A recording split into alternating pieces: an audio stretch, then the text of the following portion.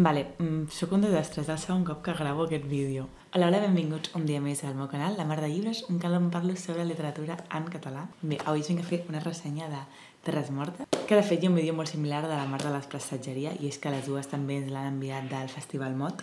Però mireu, aquesta és la tassa de l'edició de l'any passat, i m'estic fent el, la manzanilla Manzanilla és camomila, ni idea, d'abans d'anar a dormir. I, bueno, i això, i aquest llibre me l'han enviat al Festival Mot, que és un festival de literatura que es fa entre Girona i Olot i es fa aquesta propera setmana. Sí que es fa entre el 17 i el 26 de març, això entre Girona i Olot. I el tema d'aquest any és literatura i ruralitat. I una de les xerrades, una de les ponències, la farà justament la Núria Bendicho, autora de Terres Mortes, amb la Carlota Gurt i la Mita Casacoberta el dissabte, 19 de març, a les 18 hores. I la xerrada es diu Convocant l'esperit de Víctor Català, però hi ha moltes altres xerrades i moltes altres ponències. Per exemple, doncs, un conreu d'imaginaris, o on és el centre del món, o, jo què sé, lliures i asilvestrats. I d'això hi ha diferents xerrades i tot que gira al voltant d'aquesta temàtica que aquest any és literatura i ruralitat. I de fet l'any passat també vaig fer un vídeo pel MOT que vaig parlar justament de Canto de la muntanya Baia de la Irene Solà i de Germà de la Gel d'Alicia Koff, que també van anar les dues ponents. I bueno, i ara us deixaré tota la informació per aquí, us animo molt a participar-hi i intentaré anar-hi aquest dissabte perquè em faria molta il·lusió.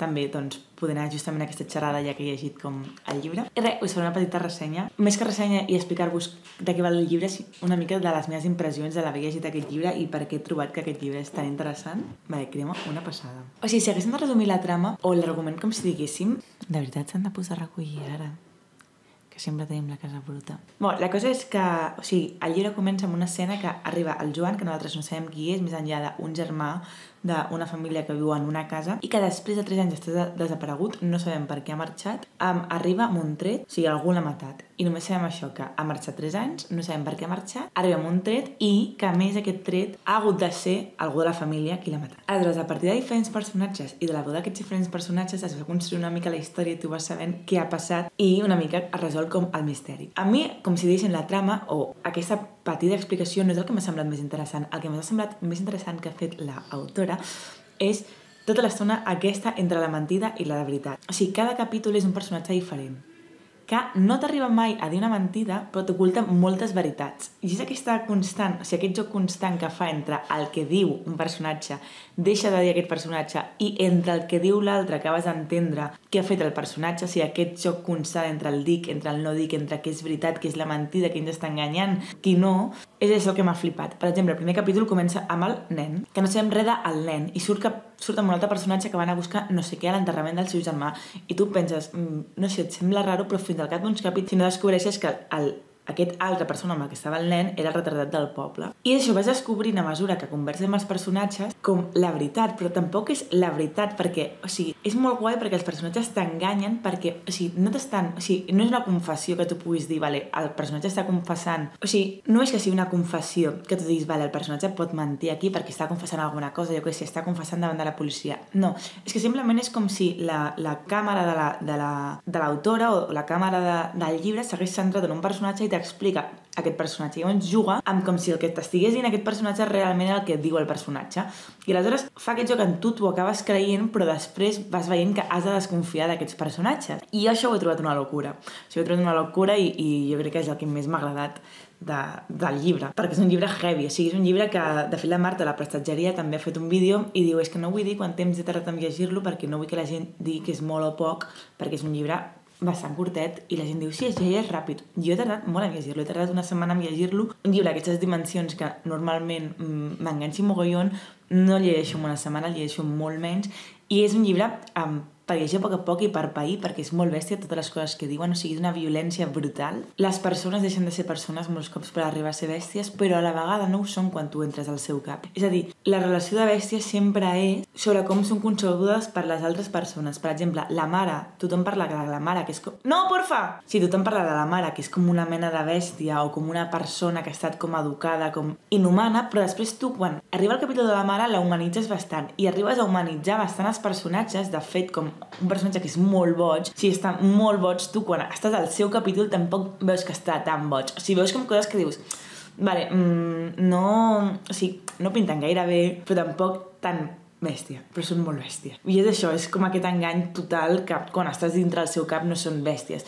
i surt molta violència, el llenguatge és molt violent, l'estil és molt violent, o sigui, de fet la portada jo crec que reflecteix com el que sents tota l'estona llegint-ho, tu, o sigui, al cap, la sensació aquesta d'ofegament, la sensació aquesta de, de que tota l'estona hi ha, com es diu, niebla, no em surt, que tota l'estona hi ha boira, i tens aquesta sensació de, de tancament, de no poder sortir, de no poder escapar. Això també és una cosa que em sembla superinteressant, que és com, com ha concentrat l'espai, si no fos per l'últim capítol, que una persona parla que ha anat a Barcelona, o sigui que no, no és un spoiler perquè no té redundància, tu tampoc sabries on està ubicat això, perquè sembla que és un espai que ha estat congelat en el temps i en el propi espai i desenvolupa tota l'acció i és un espai que tu tens la necessitat de poder sortir d'aquest espai però no pots sortir d'aquest espai i a més aquest espai encara es concentra més a la casa. Si no només és el poble i la casa, sinó l'espai i aquesta sensació d'estancament és encara més amb la casa. O sigui, fins i tot després de tenir una família de bèsties com és la teva família, tu no ets capaç d'anar-te'n amb la teva dona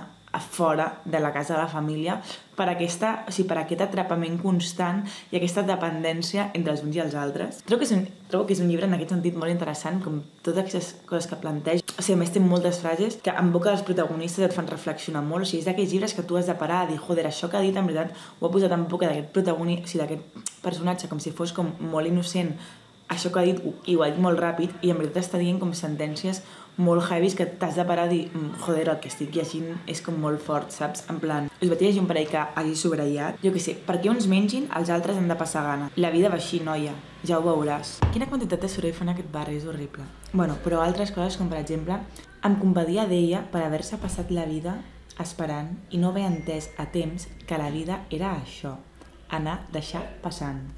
O, jo què sé, ho hauria preferit, de debò que sí. Però les coses de la vida no, mai, no van mai com volem. Les coses sempre van pitjor. I és un pessimisme constant, però és un pessimisme que m'agrada i no acaba resolent aquest pessimisme. Si no és un val, és un pessimisme, però després acaba bé. No, o sigui, és que acaba igual de malament.